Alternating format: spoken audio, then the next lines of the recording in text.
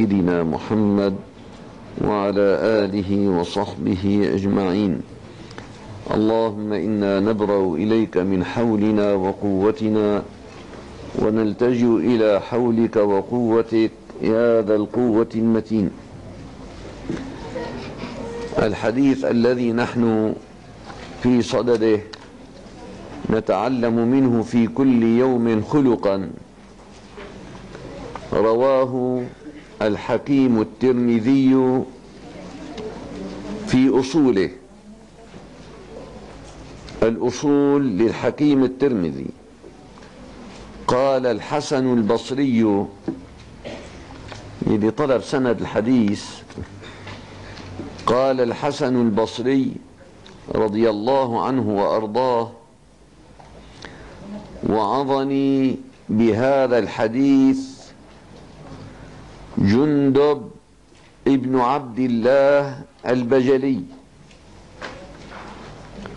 وعظني بهذا الحديث جندب ابن عبد الله البجلي.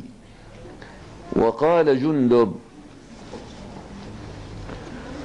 وعظني بهذا الحديث رسول الله صلى الله عليه وسلم وقال حق على كل مسلم حفظه وتعلمه. حق على كل مسلم حفظه يعني حفظ هذا الحديث وتعلمه. رواه الحكيم الترمذي.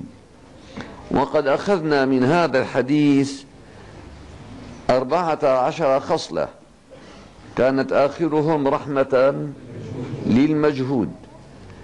واليوم نأخذ خلق جديد من الأخلاق قوله صلى الله عليه وسلم وإن المؤمن من عباد الله لا يحيف على من يبغض. وإن المؤمن من عباد الله لا يحيف على من يبغض. الحيف هو الظلم. فإذا إنسان غضب من إنسان أو ظلمه إنسان إذا أبغض إنسانا لا يحيف عليه ولا يظلمه لكل إنسان حق. فإن ضيع لك حقك فلا تضيع له حقه. وإن ظلمك فلا تظلمه. وإن أبغضته فأده حقه من غير أن تنقص له من حقه شيء. كثير من الناس إذا أبغض إنسانا أضاع حقه خاصة إذا كان له عنده مصاري أو له عنده شيء فأبغضه قل والله لا أحرق القلب تبعه والله ما لح أدفع له شيء وخليه يروح يبلط البحر ما له عندي شيء. هذا ظلم. إذا كنت تبغضه فحقه محفوظ. نصنع كما صنع عمر بن الخطاب رضي الله عنه مع قاتل أخ مع قاتل أخيه زيد. أخو عمر زيد قتله رجل وهذا الرجل غاب عن النظر ولو رآه عمر لقتله لكنه غاب وله حق فأتى يوم من الأيام إلى سيدنا عمر. عمر لما شافه قال له شو جابك؟ ألا تعلم أني لا أستطيع رؤيتك حتى تشرب الأرض من دمك؟ قاتل أخوه وما دام قاتل أخوه بحق له يقتله. فقال الرجل قال يا عمر إن حقا لي عندك إن بغضك إياي. يمنعني حقا لي عندك؟ أنت بتبغضني. فهالبغض هذا بيضيع حقي اللي أنا إلي عندك؟ فقال عمر لا الإسلام ضمن حقك. حقك محفوظ. تاخذك على البار على دور بار. ما ما ممكن. فقال الرجل إذا ما دام حقي محفوظ حبني إن شئت أو لا تحبني. إنما يبكي على الحب النساء. يعني ما لي سائل عنك إن حبيتني وما حبيتني. أعطيني حقي وما لي سائل. فقديش بغض سيدنا عمر؟ أبغضه وأن وهو قاتل أخيه لكنه ما تعدى ببغضه أن يضيع حق إنسان. البغض حال شيء والحق شيء. فالمؤمن لا يحيف يعني لا يظلم على من يبغض. أبغضت إنسانا سواء طعن فيك أو ذكر لك نقصا أو اتهمك بتهمة أو أساء إليك إساءة فالبغض شيء وله حق شيء. له عندك دين وإنت كرهته وأبغضته بتوفي له حقه كاملا. الحق حق لا يجوز للإنسان أن يضيع منه شيئا. سواء كان الحق مالا أو كان الحق جاها أو كان الحق كرامة بدك تأدي الحق كاملا من غير أن تضيع من حقه شيء. هذا يا ابني المسلم. ما المسلم اللي بيصلي ويأكل حق الناس؟ ما المسلم اللي بيحج كل سنة من مال الناس وبيأكل عليهم حقهم؟ لا يا ابني المسلم هو من يؤدي الحق كاملا من غير أن يضيع على أحد شيء. وإن كان تبغضه. البغض حالة بينك وبينه. لكن ما بتدخل فيما له عندك من حق. سواء قال لك السلام عليكم. هذا له حق عليك. أن ترد السلام. فإن كنت تبغضه وما رددت السلام فيرد الملك عليه السلام وأنت تقع في السخط لعنك لأنك لم ترد السلام. فهذا حقه. ولو السلام حقه. ولو كان شيء قليل في الحياة له حق. فلا بد أن تؤديه حقه على أي حال من الأحوال. خاصة إذا كان عدوك ضعيفا وأنت قويا. يلي له عليك الحق ضعيف وأنت قوي. تحسن تضربه وتقلعه وبتاكل حقه. بتقول له مالك شيء ما حدا بيحكي بيحسن يحكي معك. أنت قوي بمظهر قوة وهو مظهر ضعف. لا تظن أنك إن كنت قويا عليه ليس هناك من هو أقوى عليك. الله أقوى عليك من قوتك عليه. فبدك تأدي له حقه. فإذا كان ضعيف وأنت قوي ما بتستبد فيه ولا بتظلمه. تسمع كلام النبي عليه الصلاة والسلام إذا قدرت على عدوك إذا قدرت على عدوك فاجعل العفو شكرا للقدرة عليه. الله أعطاك القدرة. بدك تشكر الله على هالعطاء. فالشكر هال هالقدرة هي أن تعفو عمن أساء إليك. أساء إليك. اعفي عنه. وإن كان عدو من الأعداء. طيب شلون بدي يعفي وهو عدو لي؟ هنا تظهر ثمرة الإيمان. ثمرة الإيمان أن تظهر عفوك مع القدرة على ضعيف لا يملك قدرة. أنت قادر وهو غير قادر. أنت قوي وهو ضعيف. أظهر جمال الإسلام فيك. العفو عنه مع قدرتك. هي العظمة يا ابني في الإنسان. لما النبي عليه الصلاة والسلام سأل الصحابي أتدرون من الصرعة أتدرون من الصرعة فيكم؟ الصرع يعني المصارعجي الماكن. تعرفوا مين هذا المصارعجي؟ قالوا يا رسول الله الذي يغلب الرجال ولا تغلبه الرجال.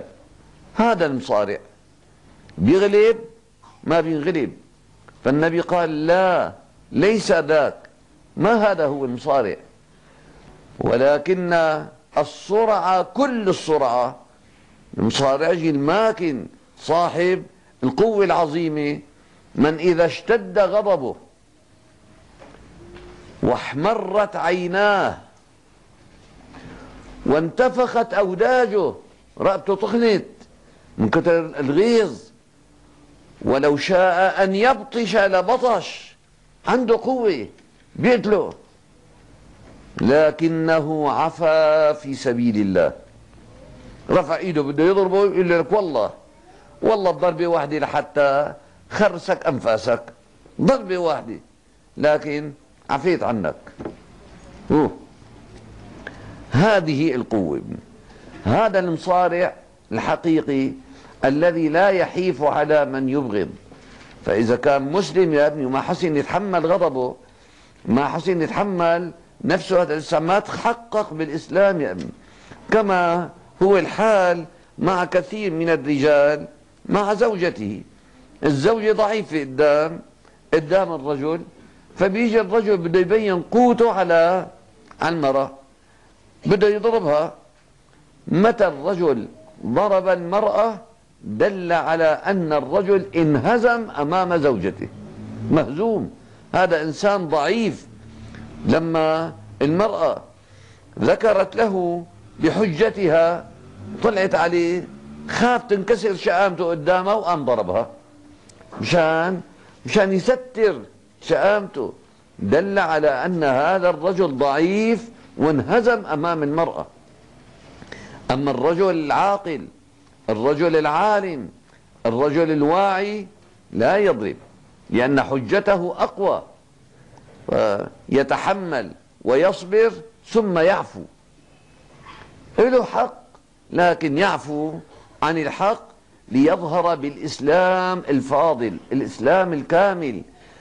فإذا كان المسلم يا ابني تربى على الإسلام الإسلام بده يعطيك شخصية غير شخصية الأسواق.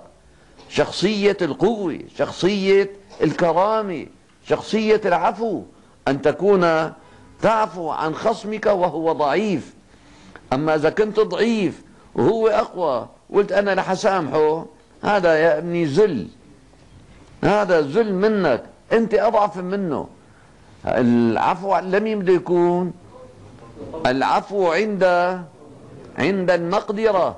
لما بتكون قادر تنتصر قادر تضرب قادر تسجن قادر تعمل معه لكنك عفوت فأنت أنت المسلم الحقيقي الذي تخلقت بأخلاق الرسول صلى الله تعالى عليه وسلم. لما النبي عليه الصلاة والسلام أتاه زيد ابن سعنة اليهودي يهودي وغني. النبي تدين منه مصاري. وهو عرب. دين النبي عليه الصلاة والسلام. فاستدان النبي منه إلى أجل لشهر. فأتى قبل حلول الأجل. قبل ما يصير الشهر ب 26 27 اجى لعند النبي. مسك النبي من صدره وهزه. هز النبي هزه عنيفه في رواية مسكه وفتل التوب على رقبة النبي حتى النبي عيونه جحظت ويهز يقول له يا بني عبد المطلب أنتم مطل أكالين حقوق الناس ادفع لي حقي. لسه ما صار الوقت. الوقت ل 30 الشهر لسه باقي ثلاث أيام.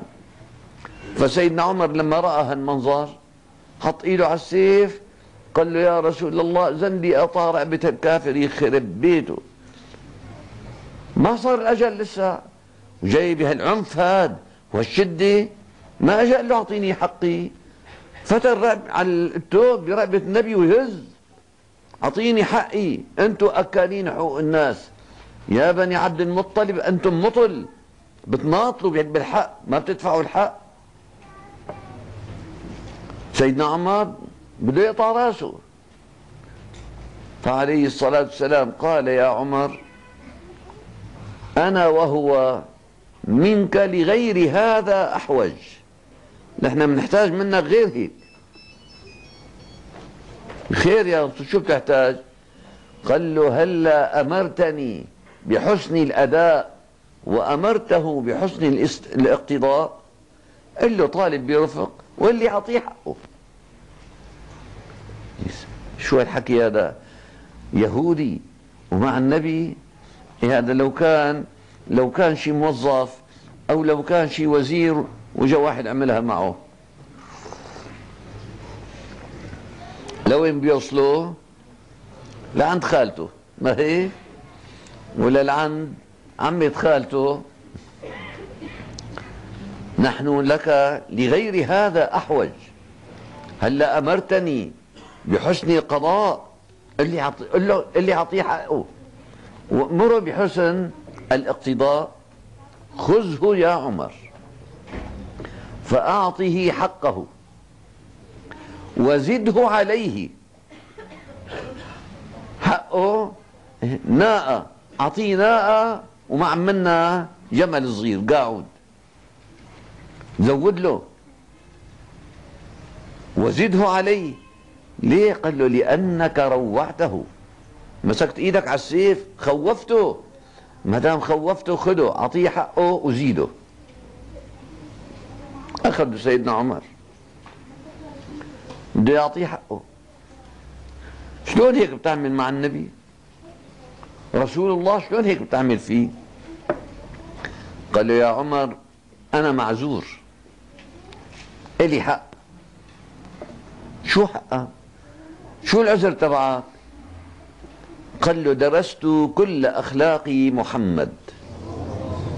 فعلمت علمتها. بقيت خصلة وحدة ما كنت أعرفها. وهي أنه يسبق حلمه غضبه. ما بيغضب حليم طويل بال.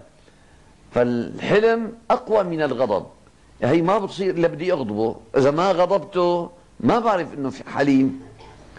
فاتخذت هالطريقة هي دينته. وجيت بهالطريقة حتى أفحص حلمه من غضبه. فطلع أحلم الحلماء. ما غضب. أشهدك يا عمر. أني أشهد أن لا إله إلا الله. وأن محمدا رسول الله. وأن نصف مالي لمحمد. نصف ماله أوقفه للنبي عليه الصلاة والسلام. هذا الحلم هذا العفو. مع أن النبي لو كان لو قال له قط رأسه هال هالكافر هذا؟ حدا بيقول له ليش؟ حدا بيقول له بيجوز ولا ما بيجوز؟ هو المشرع صلى الله عليه وسلم. لو فعلها ما حدا بينتقد عليه. لكن مشان يعطينا الدرس إذا كنت بتبغض اليهودي له حق. أعطيه حقه. ما منضيع حق ولا يهودي. فالنبي عمي ما تعطينا مثال الدين الحقيقي. فعدو يهودي عدو. يتربص العداوة. بيظلم المسلمين بيأذيهم. حقه عطيه وزود له يا كمان. زود له يا لأن الإسلام يعفو عن المسيء. عفى النبي عنه. هذا يا ابني هذا خلق لا يستطيع أن يتخلق به إلا من أحب رسول الله. إذا ما حبيت النبي عليه الصلاة والسلام وتخلقت بأخلاق رسول الله وصار النبي أحب إليك من حياتك ما بتحسن تطبق التطبيق هذا. بيطالع خمسين وحدة. قول والله يلي بيحكي كلمة بعطيهم عشرة وبعطيهم الصاع. قديش بيرد لي الصعصاعين. يعني عن زعمه إنه هو قوي. ما عرف بأنه مخالف لقانون الإسلام مخالف لشرع الله. فأنتوا يا ابني هلأ لو واحد أغضبك وله حق عندك بتحسن توفي له حقه. ولا ما بتعود بتحاكيه ولا بتعود بتسلم عليه ولا بتعود بتروح لعنده وبيبعث لك أخبار بده حقه بتقول له خليه يبلط البحر ما له عندي شيء لما كنتوا أصحاب كنتوا مثل السمن والعسل. طيب إذا زعلتوا له حق اعطيه ما ما بده يعطيه أخ مع أخوه. أخ زعل من أخوه ما بيعطيه حقه. زعل من أخته ما بيعطيها حقها. بياكل ميراثها وخليه تنطح الحيط. ما له عن ما له عندي شيء. هذا يا ابني لو صلى لا تظن إنه صلاته مقبولة ولا ترفع صلاته فوق رأسه شبرا. لأنه أكل حراما ضيع حق الغير. فعليك حقوق في الحياة. والديك لهم عليك حق أمك لها عليك حق. إيه أمه؟ مات أبوه أمه تزوجت. ليش تزوجت ما بقى يروح لعندها. ما بقى يبرها. ما بقى يحسن إلها. ليش تزوجت لك ابني هي سنة الله في الكون. أنت لازم تقول لها تتزوج. أنت لازم تسعى لها بالزواج. هذا حقها. والدك توفت زوجته. توفت أمك. أنت بتعرض عليه يتزوج. إنه هاي البشرية هيك. إلى شلون بتتزوج؟ ما بقى يروح لعندها ابوه شلون تزوج على أمه؟ ما بقى يحاكي. ما بقى يروح لعنده. فهذا يا ابني ضياع للإسلام. عم نضيع حق دين الله ونحن مفكرين حالنا. ناس ملاح وما شاء الله حولنا واتقياء ومؤمنين. لا يا ابني الإسلام أداء الحقوق إلى أهلها. فأعطي كل ذي حق حقه. فصلى الله تعالى عليه وسلم علمنا كيف يؤدي المسلم الحق. لا أحكي لكم حديث طويل شوي لكنه من جواهر الأحاديث. من جواهر الأحاديث. قال النبي صلى الله عليه وسلم أوصاني ربي بتسع أوصاني ربي بتسع وأنا أوصيكم بها. يعني هذا حديث كم وصية؟ وصيتان وصية الله ووصية رسوله. فالله وصى الرسول والرسول يوصينا. وصيتين. فهل أنت مؤمن بالله؟ محب لرسول الله؟ وصيتين. أوصاني ربي بتسع وأنا أوصيكم بها. أوصاني بالإخلاص في السر والعلانية. هي أول وحدة للطاعات والعبادات كلها. أن تخلص لله. أن لا يكون لك طلب ولا هدف إلا رضاء الله وحده فقط. أوصاني بالإخلاص في السر والعلانية. سواء كنت ببيتك أو بين الناس. اطلب بعملك وجه الله وحده. لا تطلب ثناء الناس ولا مدح الناس. من ثناء الناس ما بيطلع منه شيء. ومدحهم ما بيطلع منه شيء. وكله هوى بهوى هوى بهوى اليوم اجتني رسالة من بعض رجالات الأديان في أفريقيا. إلى شيخ المشايخ. إلى فلان كذا كذا. مشايخ قالوا لي والله فهمان عم يحكي الدخل قلت له المغرور من غررتموه. لك يا قلت له شو عم وين شيخ المشايخ؟ لك ما بطلع إجير للمشايخ. ما بطلع خادم للمشايخ. لا تغروني لا تنفخوني. كل النفخ ما بيطلع منه شيء. لو كلكم قلتوها قلتوا شيخ المشايخ ما شاء الله. يا ترى إذا كان طاقيتي موسخة بتنضف أه؟ كلكم إذا مدحتوا وطاقيتي وسخة تنضاف. وإذا كان كتفي مغبر غبرة. وكلكم مدحتوا ورفعته للسماء بيروح الغبر عن كتفي؟ إذا شو استفدنا من كل المدح؟ كل المدح شو استفدنا منه؟ كما أنه لو كل أهل الصالحية ذموا الشيخ ذموا وحكوا عليه طاقيتي بتتلوث؟ شو رأيكم؟ بتتلوث؟ توبي بيتفشى شيء بيفشي إذا لا لا المدح يا ابني ولا الذم. لا تلتفت لا لمدح الناس ولا لذمهم. خليك مع الله. والله وحده يكفي. أمرني أوصاني بالإخلاص في السر والعلانية والعدل في الرضا والغضب صلى الله عليه وسلم والعدل في الرضا والغضب لما بتكون رضيان تعدل بين اولادك تعطي كل واحد عنده تنتين نسوان بيعدل لما بيكون رضيان وإذا زعل من واحدة بيتركها وبيروح لعند الثاني وين العدل؟ ما تعطيها حقها. زعل منها. ما بده يروح لعندها. فهذا يا مسكين أضاع دينه وأضاع شرع الله تعالى. يأتي يوم القيامة من كان له زوجتان فلم يعدل بينهما. جاء يوم القيامة وشقه مائل. يعني مشلول النص نصه مشلول. جاي عم يسحب عم يسحب نصه سحب. إيده ورجله وتمه مشلول. كل الناس يقولون هذا لم يكن يعدل بين نسائه.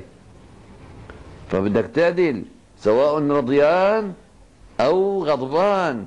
المعلم عنده ثلاث أربع إجرة زعل من واحد. منعوا حقه منعوا خارجية ما أعطى عيديه هذا ظلم. العدل في الرضا والغضب. غضبان تعدل.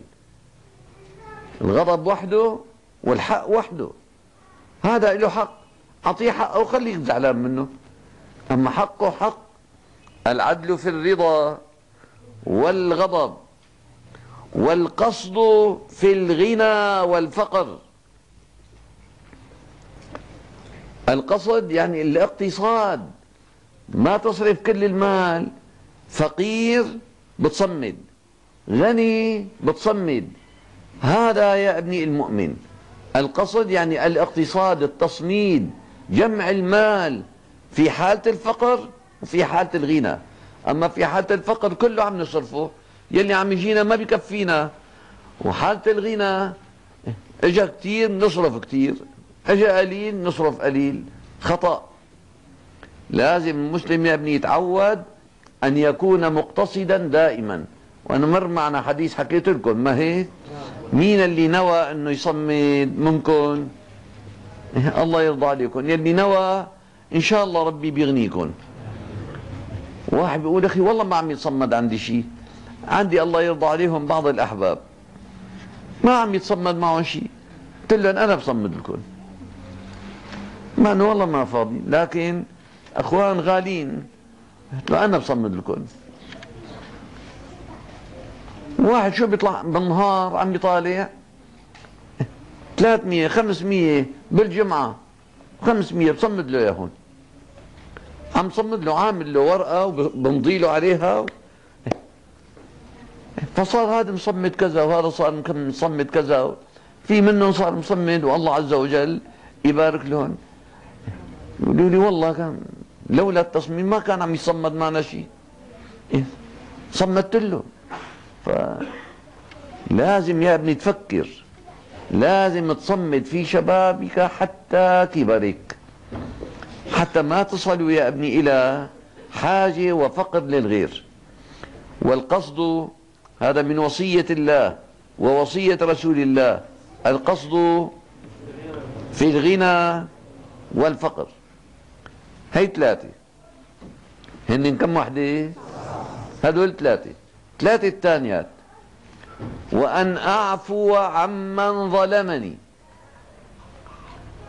واحد ظلمك سبك حكى عليك آذاك اعفي إمتى بتعفي؟ لما بتكون قوي. عندك إمكان تأذيه عندك إمكان تضره. فاعفي عنه. اجعل شكرك لله العفو. اعفي عنه. وأن أعفو عمن ظلمني وأعطي من حرمني. صلى الله عليك يا رسول الله. واحد حرمك حقك أنت أعطيه حقه. ما أداك حقك أنت أديه حقه. أدي الأمانة إلى من ائتمنك ولا تخن من خانك. إذا هو خان أما أنت لا تخون. أنت مسلم تعلمت الدين. هذاك ما تعلم. ويا أخي كل الناس هيك. إذا كل الناس يا ابني عوروا عيونهم تعور عينك أنت؟ لا يا ابني. كل إنسان له له حده له طريقته له دينه. ما بتصل أنا بمشي مع الناس. لا تكونوا إمعة تقولوا إن أحسن الناس أحسنا وإن أساءوا أسأنا.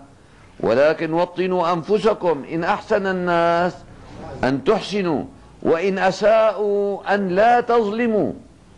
هذا المؤمن لا يظلم الغير. فمما أمر الله ووصى أن أعفو عمن ظلمني وأعطي من حرمني. أبوك حرمك ما أعطاك. له عليك حق البر بتبره. بره لو هو حرمك. يعني ما أعطاني شيء أنا إيش بدي أعطيه؟ نعم. هو أبوك وأنت ابن. فبدك تأدي له الحق ولو كان هو حرمك. أمك حرمتك الحنان حرمتك العطف. أديها العطف والحنان. أديها هذا الحق يا ابن. هذا الحق الشرعي. رضي الله عن سيدنا الشيخ محي الدين ابن عربي. قولوا رضي الله عنه. نحن في جواره. الله عز وجل ينفعنا به وبأولياء الله أجمعين. شيخ الشيخ محي الدين كان اسمه الشيخ عبد الرحمن.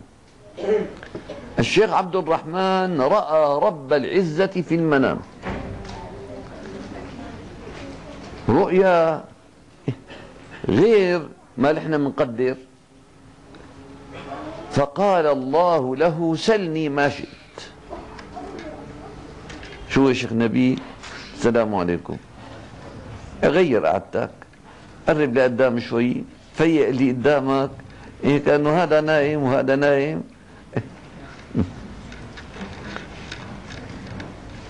فقال الله له سلني ما شئت.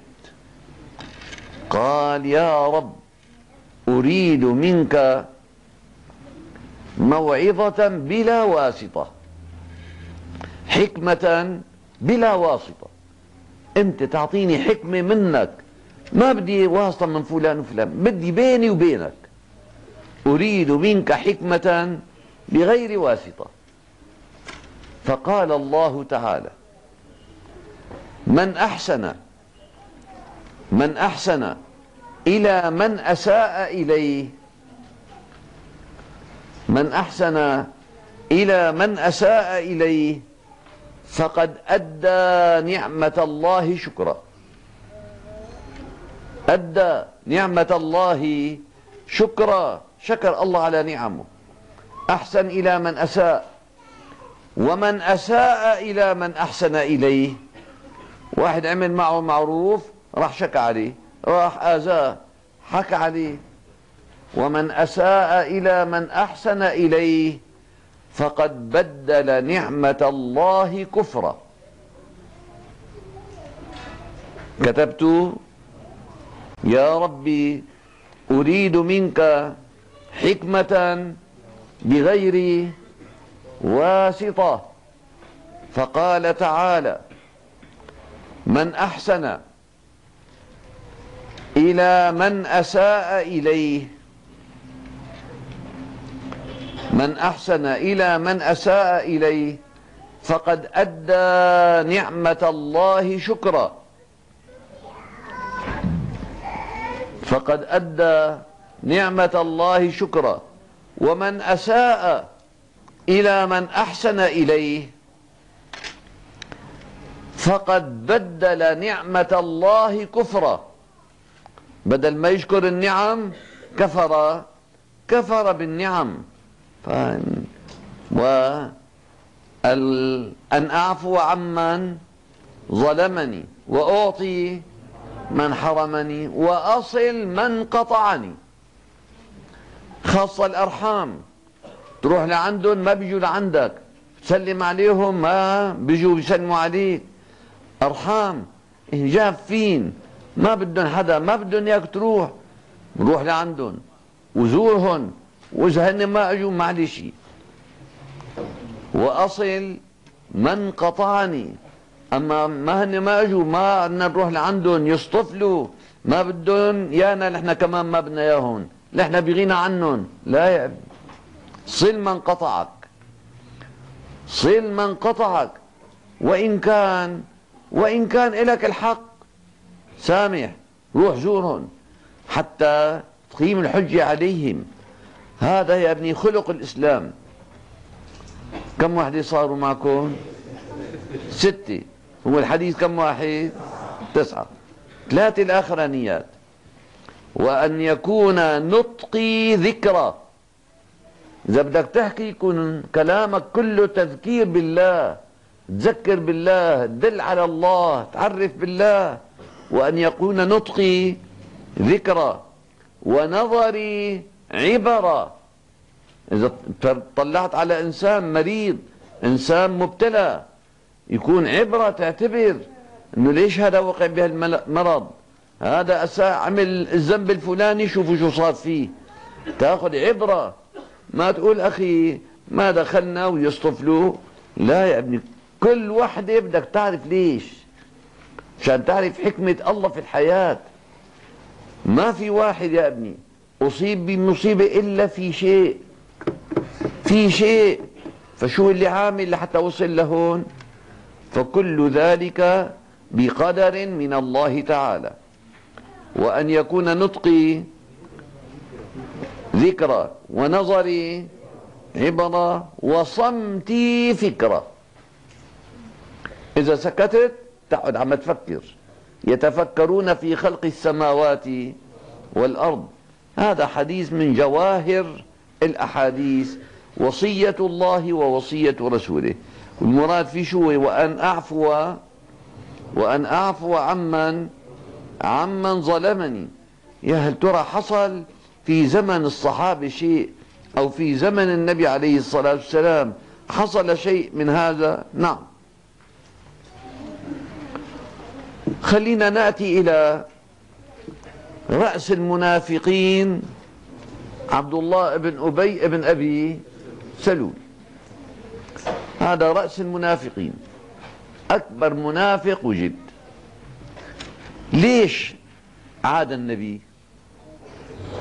لو واحد سألك ليش هالمنافق عاد النبي؟ شو السبب؟ السبب قبل ما يأتي النبي من مكة للمدينة كان هو بالمدينة. وانتخبوه يكون هو ملك المدينة. ملك بده يساوي ملك. وعم يساووا له التاج.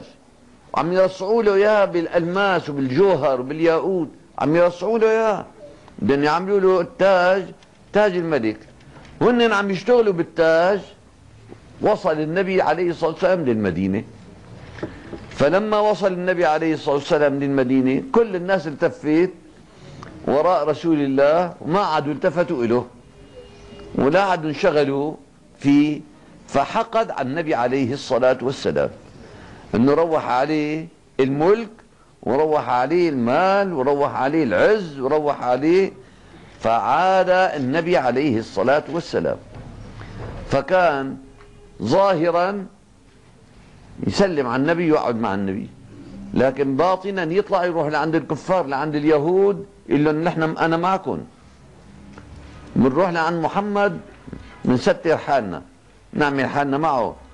يخادعون الله والذين آمنوا وما يخدعون إلا أنفسهم وما يشعرون في قلوبهم مريض الإيمان. فعبد الله بن أبي سلول هذا الله عز وجل يلطف فينا ويحمينا. هذا الإنسان تكلم كلمات تسبب له القتل. مرة كانوا برات المدينة سيدنا عمر بعت الأجير تبعه ليعبي مي وهو باعت خادمه يعبي مي. وقفوا على المي. أنا أول لا أنت أول تخانقوا مع بعضهم البعض. وصلتوا أنه صار هو وخادم عمر. قال له فعلوها ما مثلنا ومثل محمد إلا كما قال القائل سمن كلبك يأكلك. شو نسب النبي؟ شايفين الكلمة؟ سمن كلبك انه نحن جبناه لعنا وطعميناه ودللناه صار هلا بده بده ياكلنا بقى. صار بده يشوف حاله علينا. نسب الكلمة الناقصة للنبي عليه الصلاة والسلام. هي الكلمة شو بتسبب؟ بده قتل عليها ولا ما بده قتل؟ والله بده قتل والله عز وجل يبارك بالإيد اللي بدها تقتله لكن سيدنا عمر غضب. بده يقتله النبي قال له لا يا عمر. طول بالك. لا يقال إن محمدا يقتل أصحابه. هذا محسوب علينا. مرة ثانية دخل ابنه لعند النبي عليه الصلاة والسلام. ابنه كان مؤمن. شاف النبي بإيده الكاسي عم يشرب. فقال يا رسول الله لو أبقيت لي بقية أسقيها لأبي لعل الله أن يتوب عليه. هالبقية شو اسمها؟ شو اسمها؟ سؤر. اسمها سؤر. والرواية سؤر المؤمن شفاء ومن اعتقد بذلك شفاه الله. إذا كان مؤمن شرب من كاسة وجيت أنت شربت على نية الشفاء الله يشفيك. فهذا سؤر النبي وسؤر طاهر نقي صلاة صلى الله عليه وسلم. فالنبي ترك له الكاسة شرب منها شوي وعطى إياها. أخذها إلى أبي رأس المنافقين. قال له جبت لك الكاسة من شراب رسول الله. النبي شرمان منها وهذا سؤر النبي عليه الصلاة والسلام. فاشراب منها لعل الله عز وجل أن يملأ قلبك بالإيمان. شو كان الجواب تبعه؟ قال له هلا أتيتني ببول أمك فإنه أطهر منها. يخرب بيته على هالكلمة. شو بتسبب هالكلمة قطع رأس بده؟ لا حرام بالسيف ينقطع. لأن يعني بيتنجس السيف. هذا لازم شحاطة عتيقة نقطع رأسه. سيدنا عمر أعوذ بالله. وحدة ثالثة كمان برات المدينة. بدهم كمان صار في زعل.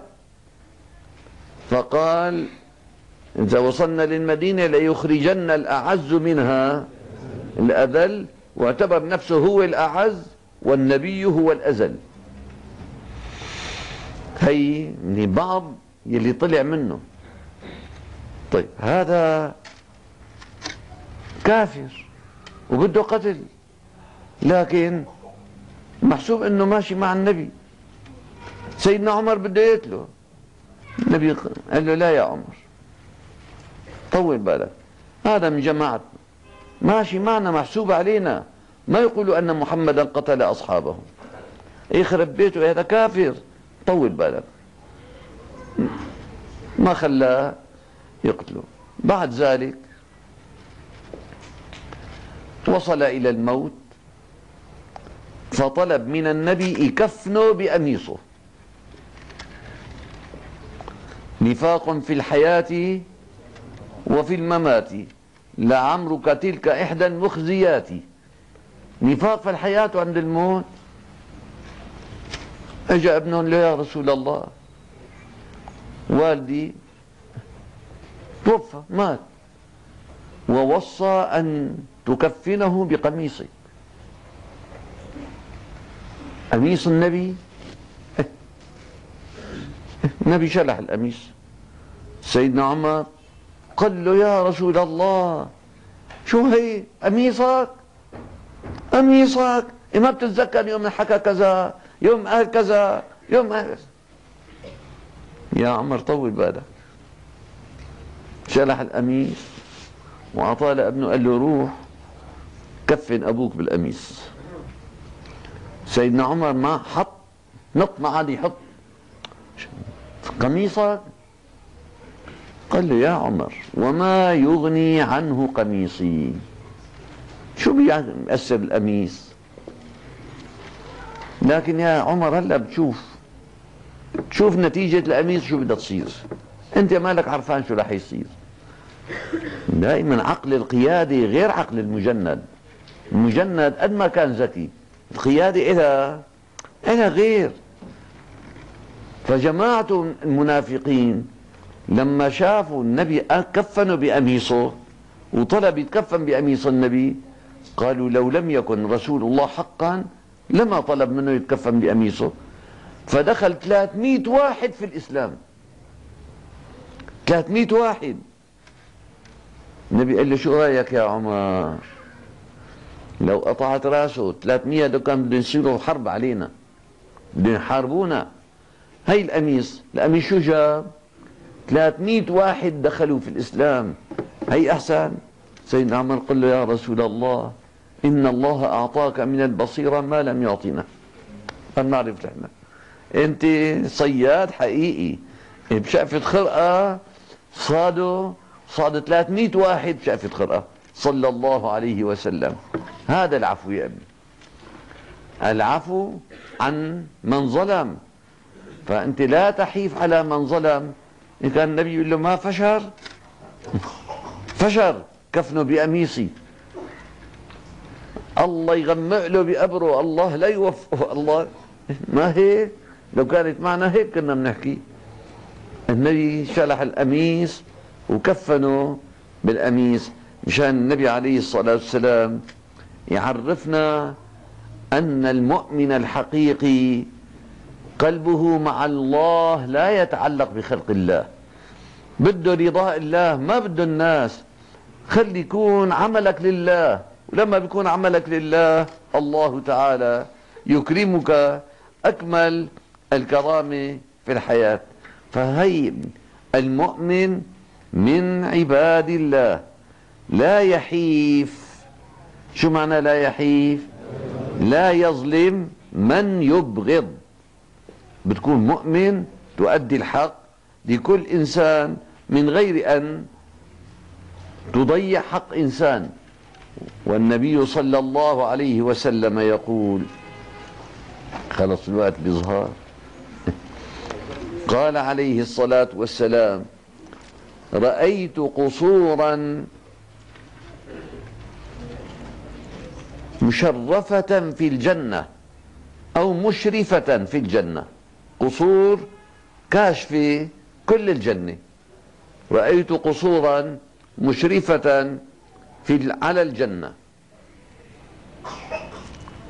هالقصور في أعلى ما يكون وكلها كاشفة كل الجنة.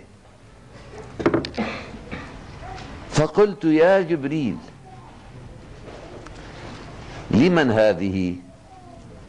هالقصور هي العالي اللي شايف الجنة كلها؟ هلا بدكم شو بيسموه شرفة. شرفة. فقاعدين على قصر كله مشرف. يا جبريل لمن هذه؟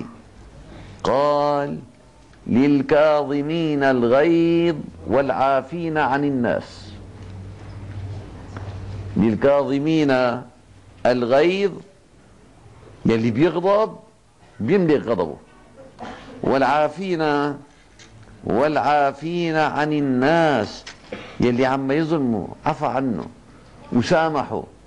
فإذا كان عفى عنه وسامحه رح ياخذ هالعطاء الإلهي أن أن يجعل له قصورا في الجنة مشرفة على على أهل الجنة.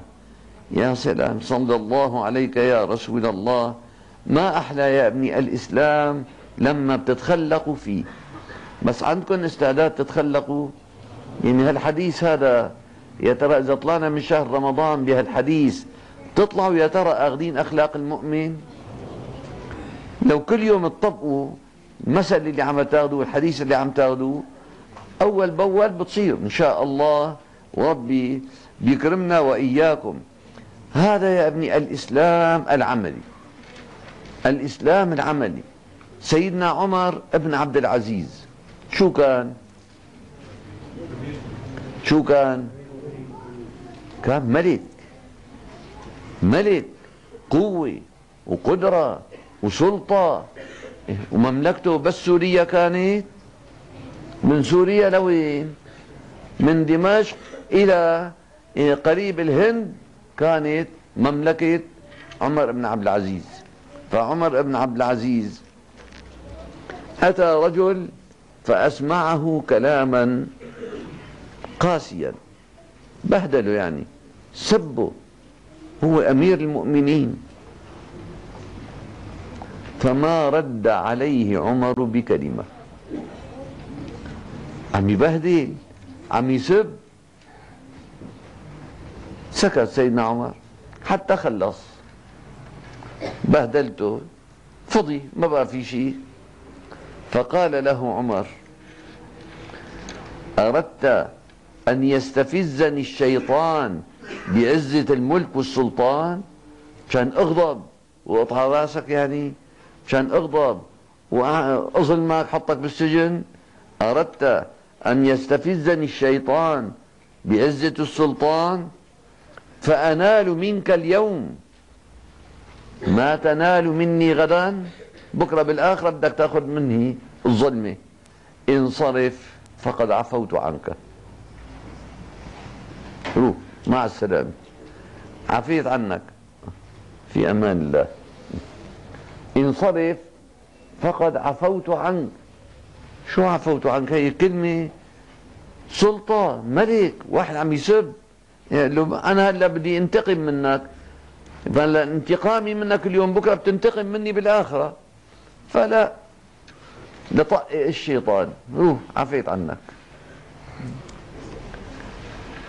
هذا العفو يا أبني عند عند المقدرة هذا يا أبني الإسلام.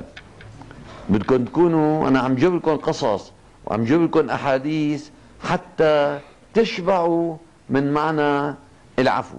شلون الإنسان لازم يعفو؟ سيدنا أبو بكر الصديق. طيب خلينا نجيبها الله يرضى عنه. سيدنا أبو بكر الصديق مين بيحبه؟ يرضى عنه. يعني إذا بتسمعوا صور وبتحبوه ما لازم نقول رضي الله عنه وأرضاه. الله يجمعنا به تحت لواء سيد المرسلين. سيدنا أبو بكر الصديق كان في له قرايب فقراء هو وأمه وأخته فقراء. وأبو بكر كان يدفع عنهم يدفع لهم. كل شهر يعني قايم بإطعامهم وكسوتهم من البابوج للطربوش. سيدنا أبو بكر قائم فيهم. فحصل المنافقين طالعوا الدعاية ضد ستنا عائشة مشان يكدروا قلب النبي عليه الصلاة والسلام. اتهموها وهي البريئة يلي الله أنزل براءتها من السماء. اتهموها. اتهموها مشان إيش؟ اتهموها بعرضة مشان يعكروا قلب النبي عليه الصلاة والسلام. فانتقلت بين كلام الناس إنه عائشة معه ولا ما معه كانوا بسفر فعائشة انقطع طوقها ضاع ما شافته. والنبي قال لهم يلا حملوا ضايع الطوق تبعها. فكانت عم تقضي حاجة واجت ما لقيت الطوق تبعها. والجيش والجيش ماشي حمل وماشي فكروا إنه عائشة راكبة هي عائشة كانت عم تقضي حاجة. رجعت ما في حدا. الجيش كله ماشي. كان النبي يخلف واحد بالأخير مشان إذا كان ضايع شيء من الجيش يحملوا يلحقوهم فيه. إجيت ما في حدا. فقعدت قدام شجرة. شو بدها تساوي؟ جاء اجا الصحابي. أم المؤمنين شو عم تساوي هون؟ إنا لله وإنا إليه راجعون. نخخ للجمل ودار وشه قال اركبي. ركبها وسحب الجمل فيها مشان يلحق الجيش. لما وصل للجيش المنافقين كانوا يمشوا بآخر الكل. بآخر الكل. فالتفتوا شافوا جاي. خذوا يا جماعة شوفوا. تفرجوا عايشة مع مين؟ هذاك صاحب الجمل وجاي فرجوا متأخرة عن الجيش. وهي وياه وشو عم يساووا سوا؟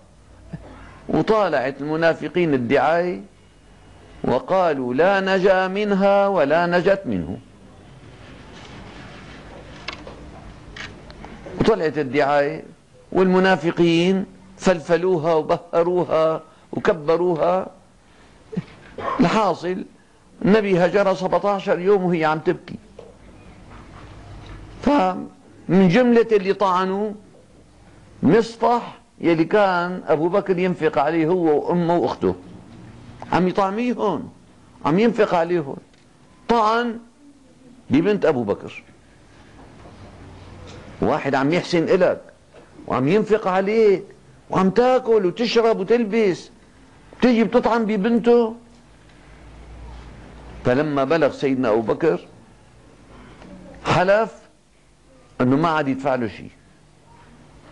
معه حق ولا ما معه حق معه حق أنا عم بدفع له عم عم بنفق عليه هو بيطعم بعرضي. فقال والله ما بيت ادفع له شيء. فلما نزلت براءة عائشة من السماء الطيبات للطيبين والطيبون للطيبات والخبيثات للخبيثين والخبيثون خبيثات أولئك يعني عائشة مبرؤون مما يقولون. براءة من السماء نزلت. الله برأها. مبرؤون مما يقولون. ولهم مغفرة وأجر عظيم. فلما نزلت الآية بالبراءة النبي عليه الصلاة والسلام جاب اللي طعنوا كل واحد قد بده ياكل؟ 80 عصايه 80 عصاية كل واحد أخذ حقه. يلي اتهموا. لكن سيدنا أبو بكر مانع المعاش. فنزلت الآية ولا يأتل أولو الفضل منكم والسعة. يعني لا يمتنع صاحب المال يلي عنده فضل وعنده سعة بالمال. ولا يأتي يأتل أولو الفضل منكم والسعة. أن يؤتوا أولي القربى. هذول قرايبينك في آخر آية الله قال ألا تحبون أن يغفر الله لكم؟ يعني اعفي وادفع له ما بتحب الله يغفر لك؟ فسيدنا أبو بكر من فرحه أنه الله رح يغفر. فتل ورد له المعاش وزود له إياه. هذا العفو يا ابني. العفو عمن ظلمك. ف لا تحيف على من تبغض. أبغضوا سيدنا عمر سيدنا أبو بكر ومنعوا معه حق.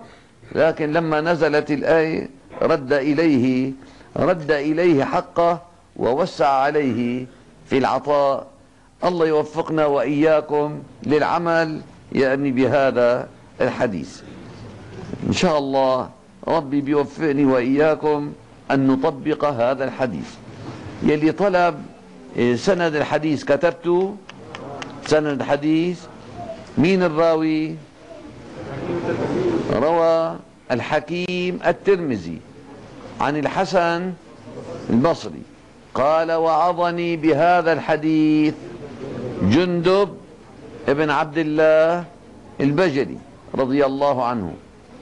وقال جندب وعظني بهذا الحديث رسول الله صلى الله عليه وسلم وقال حق على كل مسلم إيش؟ حفظه وتعلمه. وفقنا الله وإياكم.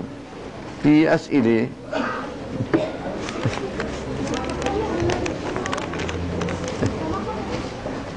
نرجو من حضرتكم بعض النصائح لطالب العلم. وهل يجوز أن يخطب الخطيب من هذه الدروس والمواعظ. إذا كان يا ابني خذوا وروحوا اخطبوا ودرسوا. الله يبارك لكم. شو عليه؟ نرجو تنبيه الرجال والنساء بشأن الأولاد. يعني النساء ما كانوا يوعوا لها الشغلة هي. يا أما عم يتقصدوا يا أما ما بدهم يطبقوه يلي عم تجيب أولادها عم ترتكب اسم ما عم ترتكب طاعة. يا بتضب اولادها يا أما لا تجي هي اولادها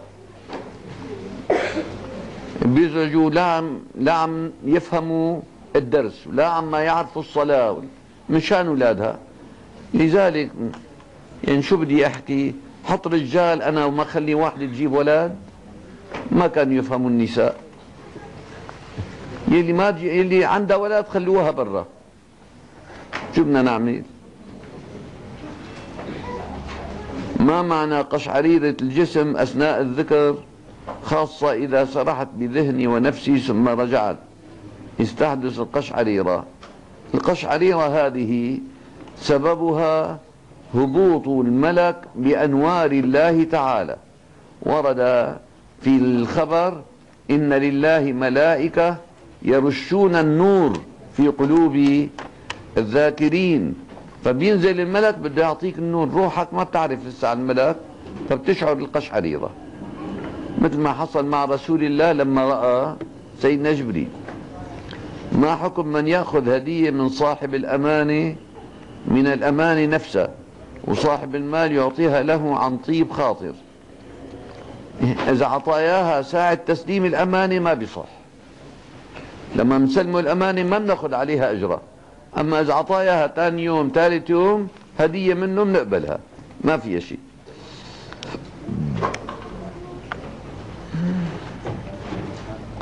جرحت يدي فقيل لي أفطر وآلمني رأسي فقيل لي أفطر. من أي مرض أو ألم يكون الإفطار؟ لا يا ولدي. هذا غشاش اللي حكى لك وجاهل بالإسلام. المرض هو المرض الذي لا يستطيع الإنسان فيه الصيام ولا يجوز الإفطار إلا بإذن الطبيب. الطبيب المسلم بده يقول لك إفطار. أما أي مرض بيفطر الواحد وجهته إصبعت رجله آه فطر. عرج الجمال من شفته.